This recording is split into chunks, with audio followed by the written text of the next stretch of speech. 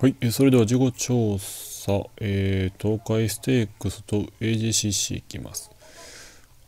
あ、あと副賞生活ですね。えー、東海ステークスですけど、えっ、ー、と、京都今年やりますよ中で日曜日開催、雨がどうちゃらですけど、ちょっと雨わからないんで、まだ雨なしでやっときます。はい、えー、まずインディとスマハマの対決ですけど、2走前ですか、はい、都ステークスでやり合って、2人ともあちゃっぽこしたんですけど、えー、リアン・ベルテとのしばき合いで、えー、共倒れと。はい、皆さんチャンピオンズカップ3着、ここで本命打った理由がアンドリュー高さんですね、2走前59キロに川田さんに外枠っていうちょっと意味わからんとこ走らされたんで、さあ、今回どうでしょうかってことで、えー、2走前インティドセって9着注目の再戦ってことで、まあ、豊さんが逃げるんやったら好むかなと思ってるんですけどまたユースケさんのスマハマとやりやったら分かりませんということで。はい、えー、まあでも一応豊さんがもうしばくとオーラ出すんやったらスマハマと仲良くワンツーフィニッシュのバレンコート決着話なんですけど。あとはどうでしょうか。インティがとりあえず川崎記念回避したんでえっ、と、これ海外行くんですかね。うーん、ですね。フェブラリー行ってからなのかなちょっと今年の行き先がわからないんで、はてのですね。このまま海外行くかもしれんな。はい。叩き台と思うかもしれませんけど、ちょっとわかりません。また本チャンネル考えます。えー、黒三角ベンジェンスですね。ここね、正直前回とあんまり予想変わらんかもしれん。うん。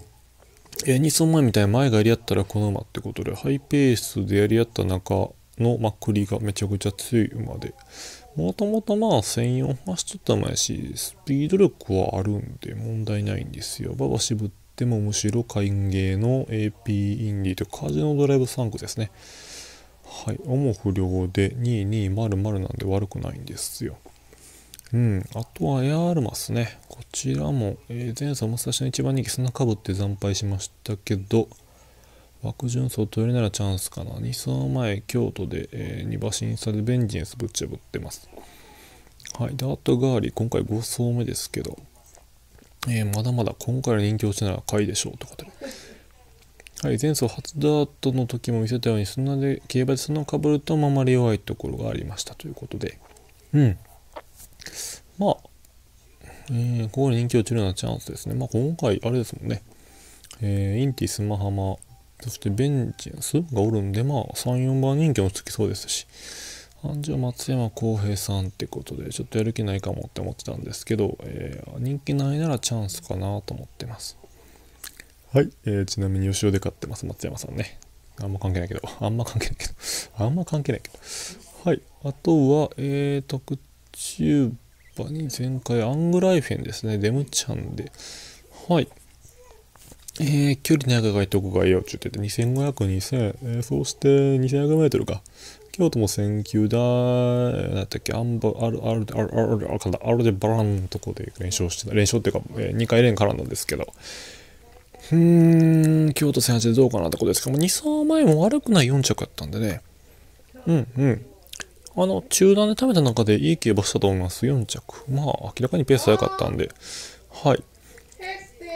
まあ、距離短縮がこのアングライフェに向くとは思わないんですけど、ただ、あんデムちゃんなんで、これが怖いよね。人気ないデムちゃんやから、これは怖い。ああ、怖い。あとは、どうしようと思って、ここ今まだ5頭しか売ってないんですよね。16頭立てやからもっと相手増やそうかと思ったんですけど、ただそんなに来るやつおるかと思ってそんなにおらんのよね。でどうしようかと思ってえー、まず、えー、ちょっと気になったんがはい。まずこの馬ですね。はい、えー、ビルジキール。前走、えー、堺ステークス阪神1008を、えー、上がり使って差し切ったんですけど。はい。えー、ピンク棒ですね。外からまくっていったんですけど、後方3、4番手からの競馬で、はい、えー、最後、先段飲み込んで勝ったんですけど、まあ、前そこそこ粘れる馬場やったんで、まあまあ、一応後ろからの競馬みたいな感じで決まりましたけど、まあ、この伸びがもう一回重賞で出てもいいかなと。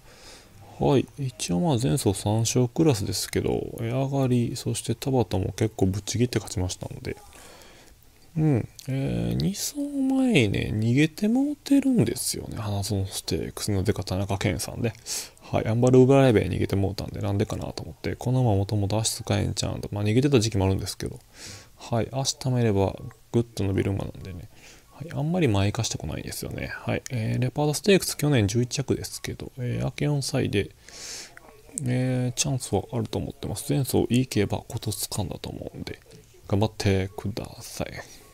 うん。貯めればいい足が出るってことを前走学習しましたので、池添さんで頑張ってください。はい。あとはですね、えー、注目が、はい、このものですね。はい、コマビションもですね。はい、アンジョ・ワダリウスさんで、前走3番人気11着やったんですけど、それまで3.7が1番人気で京都さん1着。阪神2000も連勝で1着。しかもこの時なんと1秒差6馬審査でぶっちぎってます。はい、えー、今年でこの負け5歳になりますけど、まあ一見ムラールを見るんですけど最近ようやく板ついてきてやっぱこのまま回しためたらいいよってことでまあさっき言ったのもそうですけど前がやっぱスマホマインティでもし展開早なるなら後ろからの競馬で車たちが増えると思うんで選んでおきますはい。でごめんなさい。もう一頭言いまして結構星5い結構星5いこれまたね最後本ちゃんね星1頭絞らなかったけどね。はい。キングズガードも面白いよということで前走チャンピオンズカップ上がりサイズ5着。35秒0やからな。これ意味かなこれは意味かなしらはい、二相馬都ステークス展開会目転着ってことで、やっぱ前が引っ張るほどこのまま持ち味出ますんで、うん。はい、都ステークスってこのままなんか毎年絡んでた気がするんやけど、気のせい。そうやね。テームジンソンの時も絡んだからね。うん。38悪くないです。はい、チャンピオンズカップもしっかり上がり使えてますんで、安城秋山さんです。安城秋山さんで、えー、っと、キングズガードは0101。まだ分かりません。ありがとうございました。はい。ということで頑張ってください。キングズガード9歳かも。すごい年やな。すごい年やな、これは。はい。頑張ってください。こんなもんかな。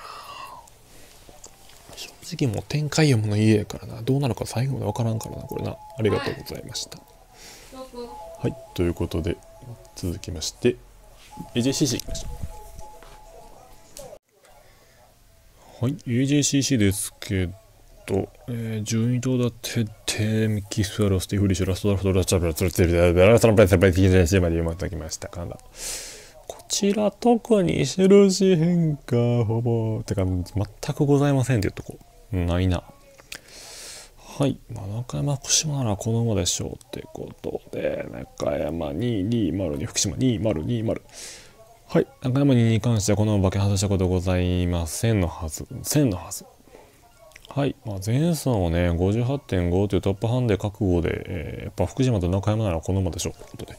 はい、えー、3着絡めましたんでうん中山にオールカマー同様もう舞台得意舞台なんでうんはい、もうここです。57.5、85.5じゃ、85.5となんで、50.5という仕掛けどころにもたついたということでね。はい。まあ、もう、ここしかないと思いますんで。はい。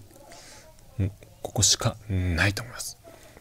横乗さんと、えー、久しぶりのコンビですけど頑張ってください。菊沢さんとこ、えー、息子乗せるか、親戚乗せるかなんで頑張ってください。はい。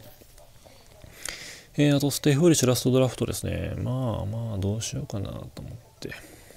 ステイフーリッシュのルメちゃんが本気か。なんぼお金？5000万持ってんか。それかラストドラフトかな。ラストドラフトの方がおもろいと思うけどな。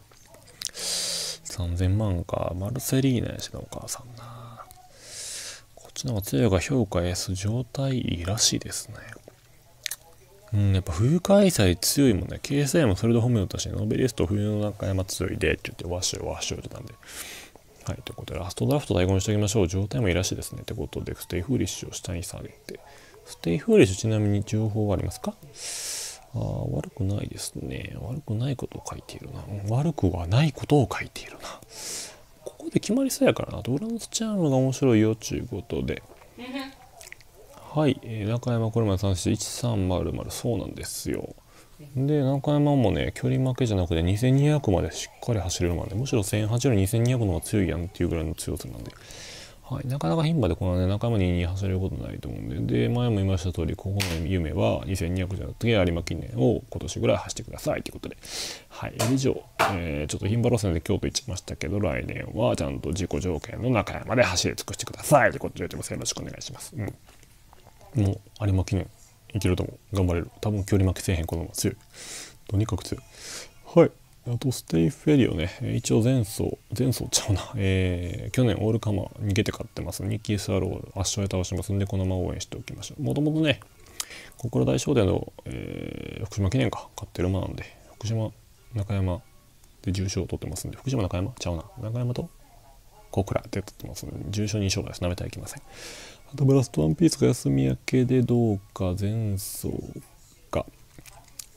海外帰りの疲れであとカルテラショックで走る気があるかどうかですね。はいあとババは極端に悪化しなければってことでババが悪化したら良くないらしいんで頑張ってください。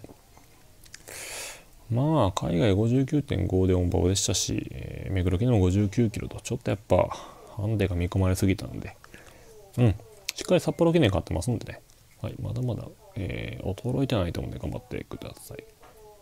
うん。はい。であと面白いんが、えー、距離短縮のハービンジャー西野デイジということでハービンジャー3個で距離延長で評価されると思うんですけどまあ、ユンソン2番人気背負ってる梅ちゃんということで内枠やったし人気2番人気も背負ってしまったんですけどそうやね。これ過剰人気やったな。ごめんなさい。私も本命だった気がしますわ。内枠の梅ちゃんだけ 3000m 走りきれず。で 3000m からのこの距離短縮で来た馬は柔道選手紹介しました。えー、こ倉の愛知杯で3着来ました。レイホーロマンスこちらが前走。マイオンステークスから愛知杯距離短縮で来てますんで距離大幅短縮ですね。今回それに該当するのは中と西野定一安長が田辺さん人気ない時の田辺さんを買いましょうということで頑張ってください。はい。特注は西野定一変わらず。はい。あと副賞生活ですけど。土曜日ね、とりあえず小倉の1007のダートはちょっと怖いんで、またメインレースで行こうと思うんで、まず京都の岩清水ステークスは、えー、多分ドナルドデルとアクアミレビースあたりでなんか行きそうな気がするんで、ここはまあ、何やったっけ、ノン重賞レースにする予定です。あ、富田暁君帰ってきた。あれ？最近乗ってた？よね。あ、怪我しとったんやったっけ？忘れた。それ持ってなかったよ、最近ね。お帰り。はい。これはまあ、えー、さっき言った通りえっ、ー、と何やったっけ？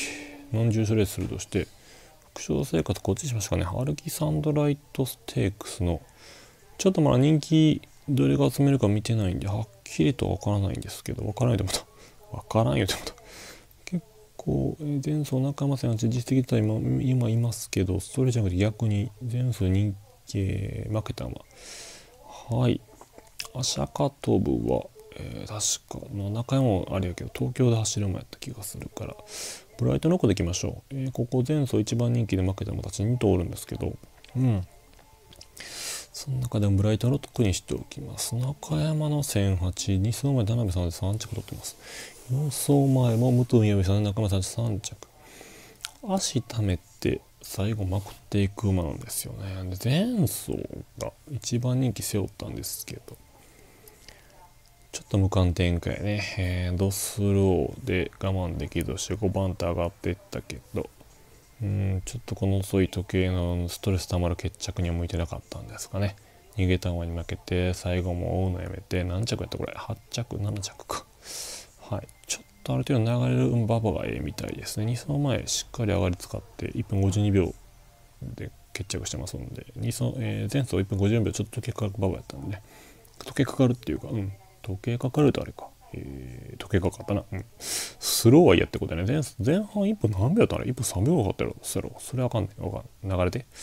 はい。まあ一番人気今回ちゃうと思うんで、リベンジ頑張ってください。人気落ちの田辺さん買いましょう。はい。ということで、自己紹介以上でやりましょうか。また明日の本チャンネルお会いしましょう。ご清聴ありがとうございました。